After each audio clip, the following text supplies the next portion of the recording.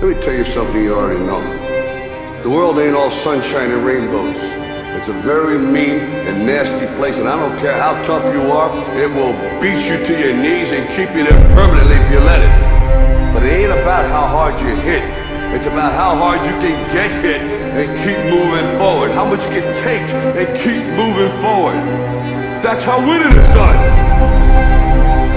Know what you're worth, now go out and get what you're worth. But you gotta be willing to take the hits and not pointing fingers saying you ain't where you wanna be because of him or anybody. Cowards do that and that ain't you. You're.